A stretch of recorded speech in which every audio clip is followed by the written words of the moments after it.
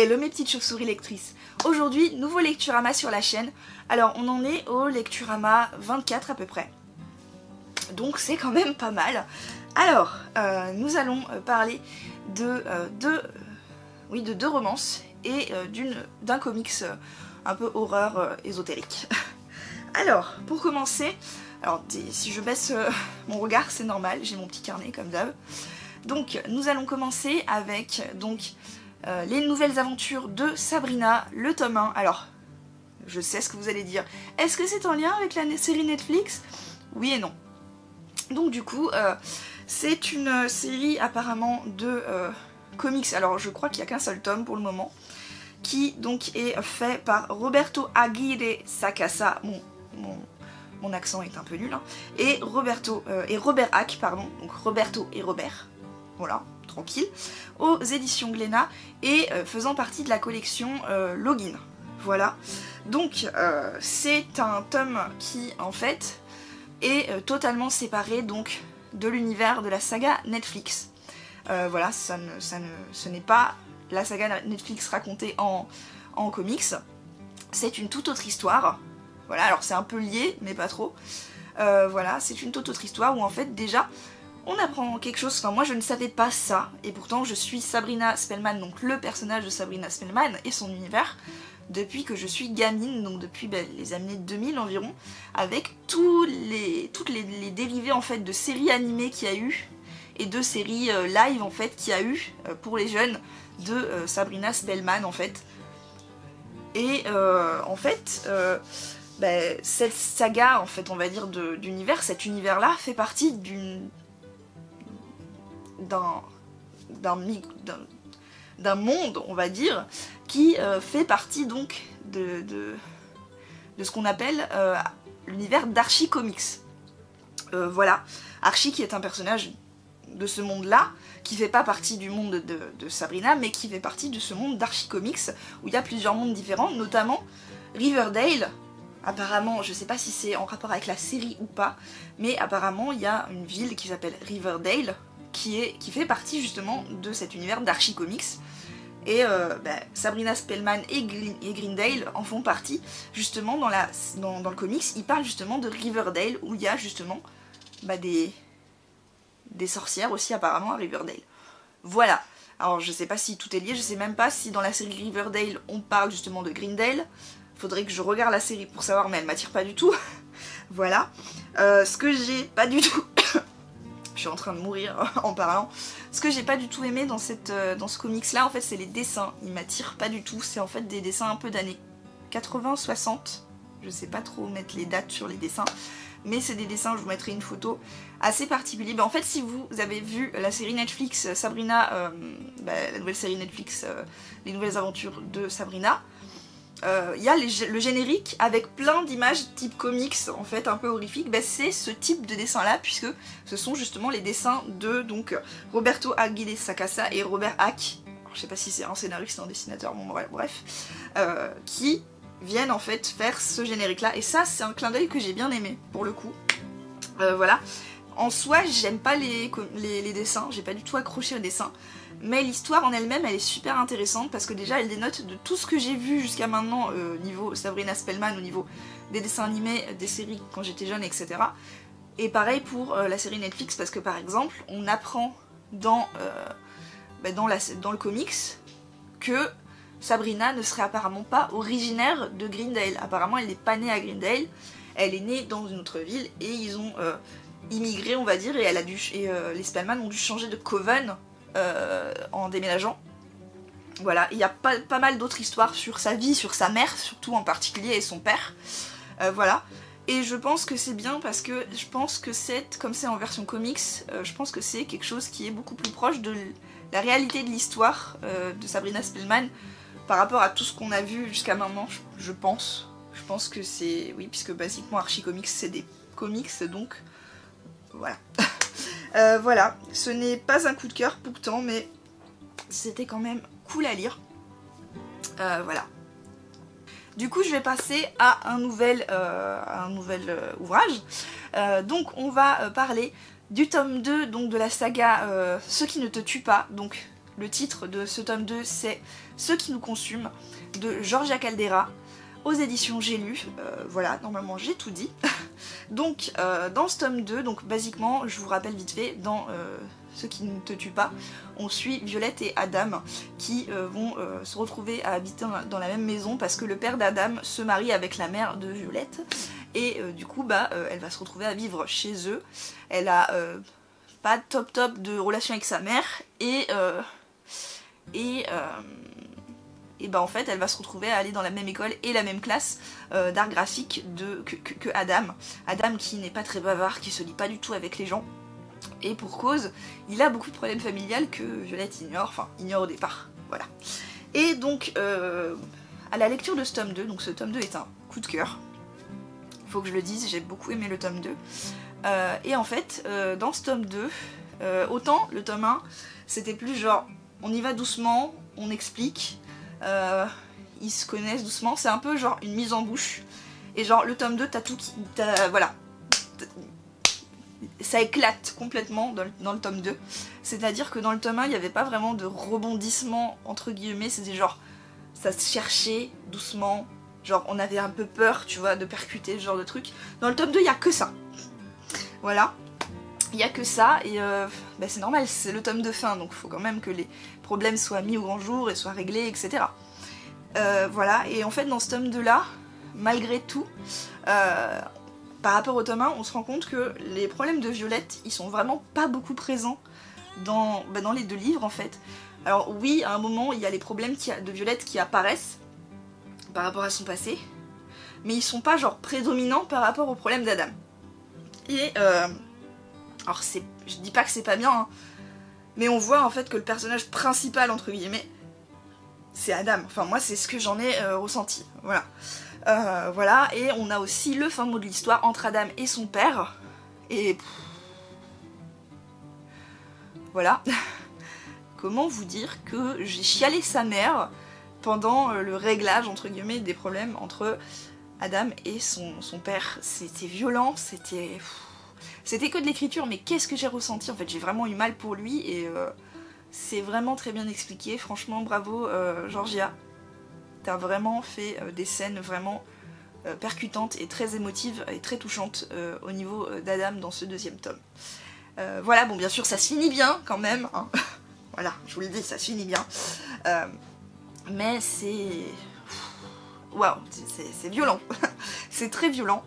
Mais il y a quand même des scènes très émouvantes euh, quand par exemple euh, ils vont passer Noël euh, chez le père de Violette. C'est très beau comme, comme scène, j'aime beaucoup. Par rapport à, du point de vue d'Adam en tous les cas. Et en dernier, roman, on va parler du tome 2 de la saga The Elements de Brittany Setcheri, donc une saga que j'aime énormément. Voilà, c'est une, de mes sagas coup de cœur de l'année 2019. Euh, donc euh, qui s'appelle The Fire. Euh, voilà, avec la magnifique couverture, ce mec est tellement beau.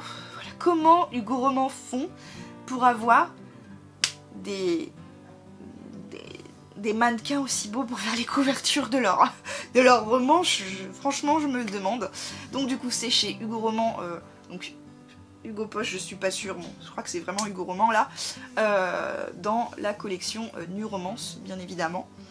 Donc, c'est un coup de cœur, bien évidemment, voilà. Tous les, les Elements, c'est des coups de cœur, concrètement.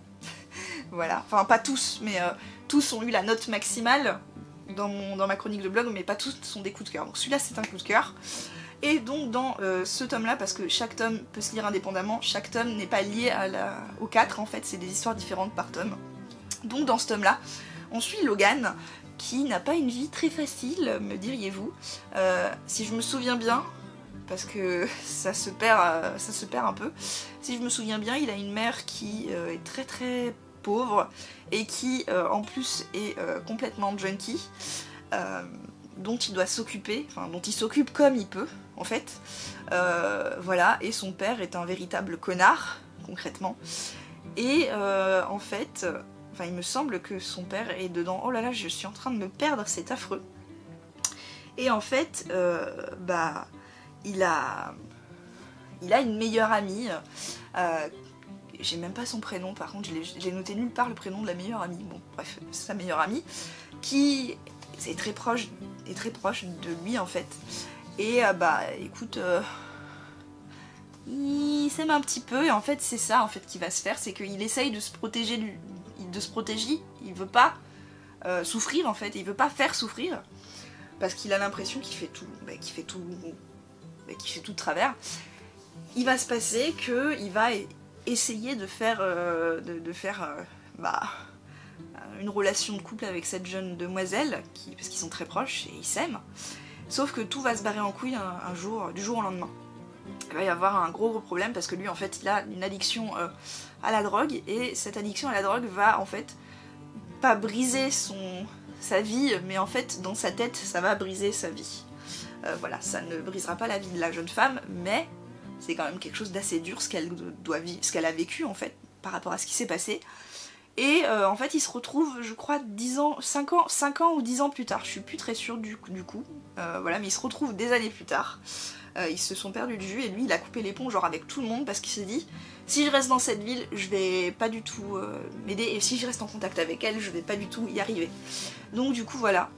Et en fait ce qui est très beau dans ce texte c'est que il s'envoie, euh, alors c'est quoi? C'est des messages sur le répondeur, c'est-à-dire que pendant toutes ces années où lui il refuse de, de parler à la jeune femme, cette fille elle l'appelle sur son téléphone je crois sur son télé oui, sur son téléphone. Tous les jours, je crois, au départ. Et puis après, petit à petit, euh, comme c'est. Je crois que c'est 5 ans qui se passe. Bah, tous les 5 ans, genre, toutes les semaines, elle l'appelle, ou tous les mois, parce qu'elle va pas l'appeler tous les jours. Elle commence à, à se lasser. Euh, voilà.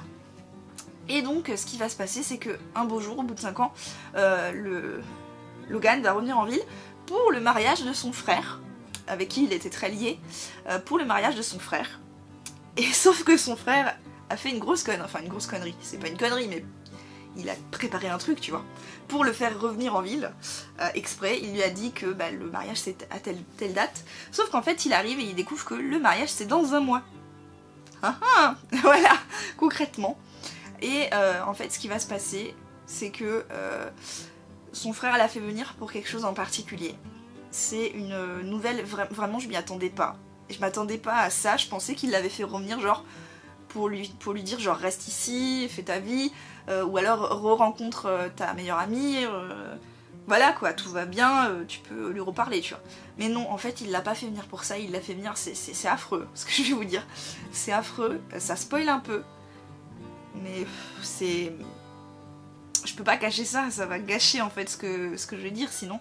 Il, en fait, il va apprendre qu'il a que son frère a un cancer. Et donc euh, le reste de l'histoire, c'est euh, Logan qui vit chez son frère et qui essaye d'aider son, son, frère par rapport à ce concert-là. Mais aussi, il va re-rencontrer son ancienne meilleure amie. Ils essayent de pas se rapprocher parce que bah ouais non, machin et tout, machin, lui il est clean, machin et tout. Mais machin, c'est les romances et... Oh là là, la fin elle est tellement belle La fin franchement elle est juste magnifique et il y a des et comme toujours, euh, enfin moi j'ai lu, les quatre donc je sais, je sais comment elle écrit, je, vous, le saurez dans les prochaines vidéos, mais voilà. Ce qui est génial avec Brittany Cherry, c'est qu'en fait, elle alterne, euh, elle alterne avec un truc super triste et un humour à couper au couteau. Un truc super triste, un humour.